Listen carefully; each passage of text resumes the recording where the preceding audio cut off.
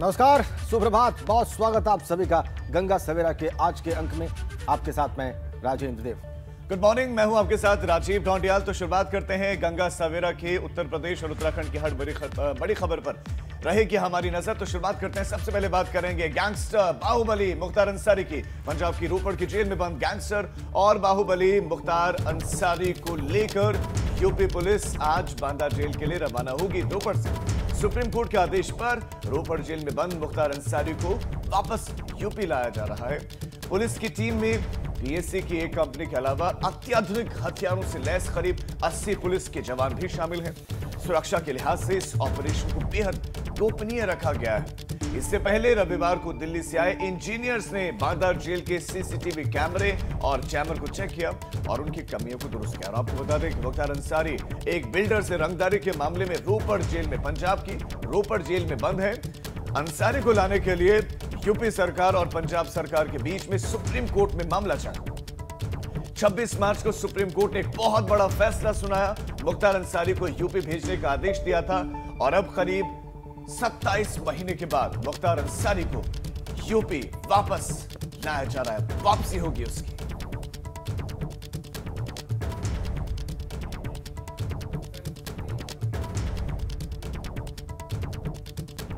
मुख्तार अंसारी की बांदा जेल वापसी और रोपड़ जेल से उसको बांदा लाया जाएगा आज।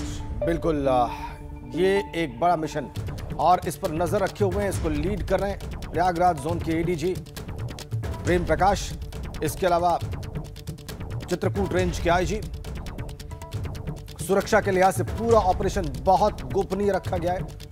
रविवार को दिल्ली के इंजीनियर्स ने बांदा जेल के सीसीटीवी और जैमर को चेक किया और बहुत कड़ी सुरक्षा के बीच 80 से ज़्यादा जवान हैं यूपी पुलिस के।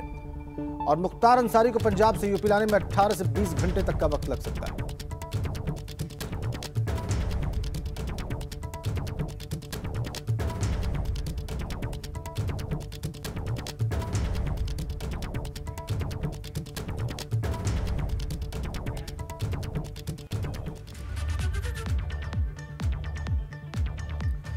तो इस तरीके से मुख्तार अंसारी को 18 से 20 घंटे का वक्त लगेगा पंजाब के रोपड़ से बांदा जेल शिफ्ट किए जाने में। ये एक बड़ा मिशन है, इस पर निगाह रखे हुए हैं प्रेम प्रकाश, प्रयागराज जोन के एडीजी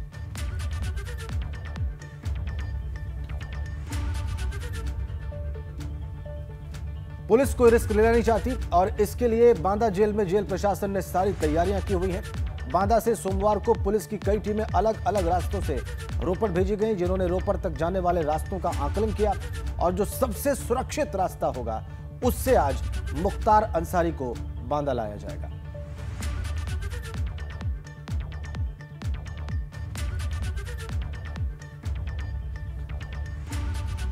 मुख्तार को यूपी की बांदा जेल वापस लाने का यह ऑपरेशन कितना खास है, ये बात इसी से समझी जा सकती है कि माफिया को पंजाब की जेल से लाने वाली स्पेशल टीम में रवानगी से ठीक पहले बदलाव किया गया। पहले टीम सोमवार सुबह पाँच बजे निकलने वाली थी, लेकिन फेरबदल की वजह से इसमें देरी हुई। स्पेशल टीम से पूर्वांचल के सभी पुलिसकर्मियों को हटा दिया गया। मुख्तार के लोग किसी भी तरह से इस ऑपरेशन को प्रभावित न कर सकें, इस आशंका में यह कदम उठाया गया। मुखबिरी की आशंका की वजह से भी पुलिसकर्मियों के मोबाइल फ़ोन जमा करा लिए गए। पुलिस टीम वायरलेस सेट के ज़रिए ही एक दूसरे से संपर्क करेगी। पूरे रूट को बहुत सीक्रेट रखा गया है। मुख्तार को यूपी वापस लाने वाले रास्ते की रेकी भी की जा रही है। चलिए हम आपको सुनाते हैं मुख्तार की वापस के रूट और हैंडओवर की प्रक्रिया पर क्या कहना है यूपी के तीन पूर्व डीजीपी का। कुछ अपराधी ऐसे होते हैं जिनकी कोई खास उनसे खतरा नहीं है, ये है। तो तीन चार आदमियों का चार चार आदमियों का स्कोट ही पर्याप्त होता है। ट्रेन से भी ले आते हैं। किसी गाड़ी से भी ले आते हैं वाहन से। लेकिन जो बड़ा बाहुबली हो, बहुत बड़ा अपराधी हो, उसके बारे में बहुत ज़्यादा एहतियात बरतने की ज़रूरत हो। मुख्तार के केस में मैं समझता हूँ कि उत्तर प्रदेश पुलिस मुख्तार को रात के समय लेकर नहीं चलेगी। भले वो डिले हो जाए। कि इसमें काफिला लंबा है। मुख्तार के यहाँ से ले उत्तर प्रदेश से एंबुलेंस गई है। पुलिस का वज्र वाहन है। कई गाड़ियों का स्कोट है और करीब मैं समझता हूँ पचास, साठ और सौ तक भी पुलिसकर्मी हो सकते हैं। यूपी पुलिस की टीम यहाँ से गई है, एक डिप्टी एसपी के नेतृत्व में, जिसकी समीक्षा, जिसकी, जिसका सुपरविज़न सीनियर ऑफिसर्स कर रहे हैं, IG Chitrakoot, ADG Prayagraj zone कर रहे हैं, और अब उसको यहाँ पर लाया जाएगा। पूरा एक फ्लीट का पूरा एक सिस्टम है, डिप्टी एसपी उसमें है। आगे पीछे गाड़ियाँ रहती हैं और अपना रूट को क्लियर देखकर और अपना बढ़ते चले जाते हैं। किसी प्रकार का कोई खतरा नहीं है। इसकी कोई इतनी आवश्यकता नहीं है। दो तीन गाड़ियाँ पर्याप्त थी, पर क्योंकि इसमें सुप्रीम कोर्ट का इन्वॉल्वमेंट है। सुप्रीम कोर्ट के द्वारा आदेश दिए गए हैं।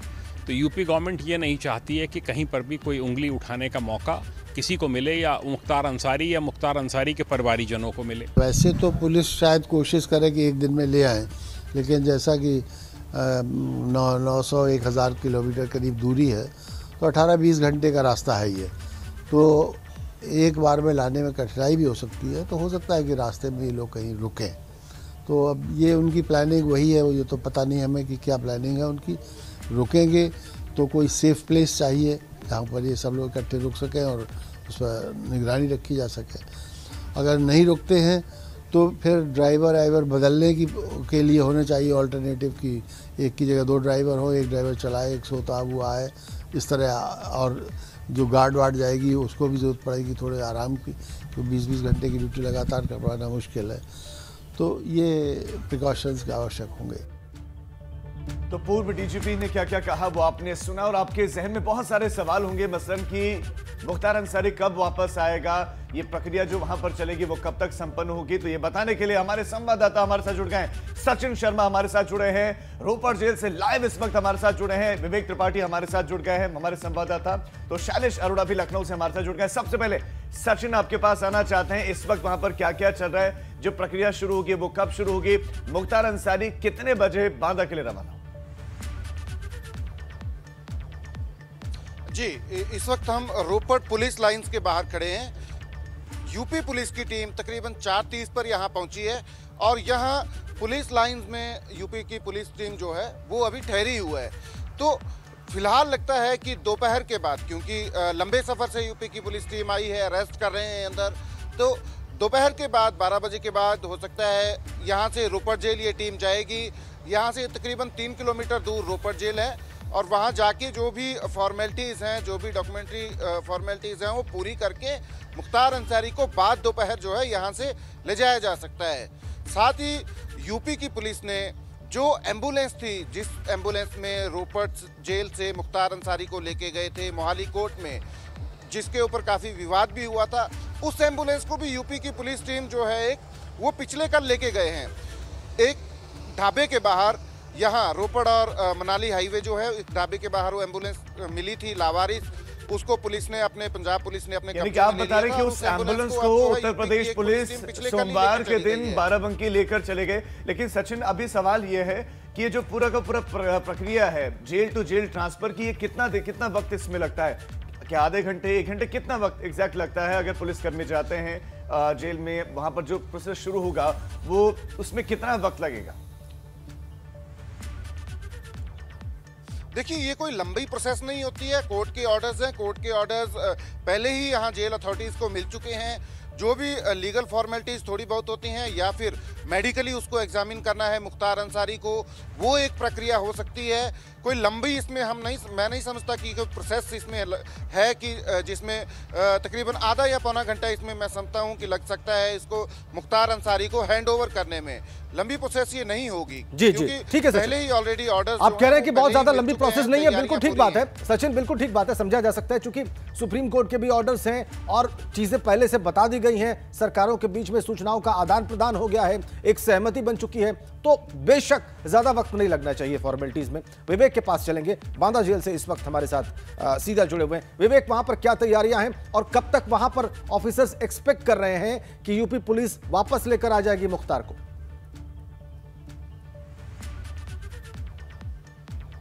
जी राजन देखिए यहाँ बांदा झील में पूरी तैयारियाँ हैं सुरक्षा के सारे इंतज़ाम कर लिए गए हैं। सीसीटीवी कैमरे वगैरह जो लगे थे तो उनके अलावा उनकी संख्या भी बढ़ा दी गई है। कैमरे की रिकॉर्डिंग और डीवीआर वगैरह चेक कर ली गई है। सभी बैरकों की छानबीन की गई है और सारे बंदियों का जो रिकॉर्ड है वो खंगाला जा रहा है कि कौन से बंदी कब आए हैं किस तरह से आए हैं कौन कौन जमानत कटवा के आया है। सबका रिकॉर्ड पहले ही खंगाला जा चुका है। एक एक कदम सावधानी पूर्वक उठाया जा रहा है। जो अधिकारी हैं उनसे बात हुई है मेरी। उन, उन्होंने कहा है कि हो सकता है कि आज मुख्तार यहाँ ना पहुँचे।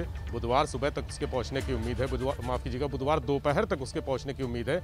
अधिकारियों का यही मानना है कि अगर पंजाब के रोपड़ जेल में जो प्रक्रिया होनी है, जो उसके हस्तांतरण की प्रक्रिया होनी है, उसको लेकर दोपहर के बाद ही कार्रवाई शुरू होगी। 12 से एक के एक के, एक बज सकता है या दो बज सकता है, चूँकि फॉर्मेलिटी थोड़ी सी है।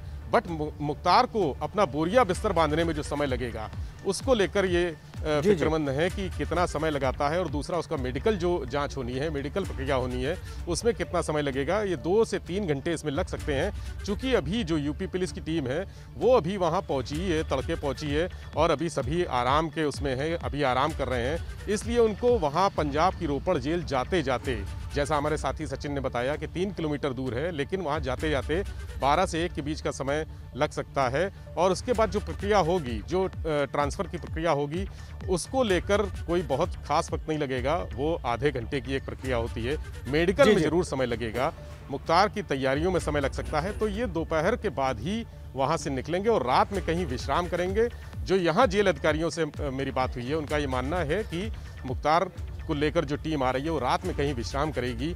अब ये किस जगह पे करेगी। क्योंकि बहुत गोपनीय ऑपरेशन है, गोपनीय मिशन है, इसलिए कोई भी चीज़, किसी भी बात को डिस्क्लोज नहीं किया जा रहा है कि कहाँ, किस रूट से चलेंगे, किस रूट पे विश्राम करेंगे, किस रूट पे रुकेगी टीम और जो रिफ्रेशमेंट होता है वो करेगी, या रात में कहाँ स्टे किया जाएगा। लेकिन ये माना जा रहा है कि जो भी नियरेस्ट पुलिस लाइन होगी या बटालियन कैंप होंगे, वहाँ पर विश्राम कर सकती है, चूँकि फोर्स की संख्या काफ़ी ज़्यादा है, वाहनों की संख्या काफ़ी ज़्यादा है, और एक बाहुबली अपराधी उनके साथ है, जो विधायक भी है इस समय, इसलिए सारी सावधानियाँ बरती जा रही हैं।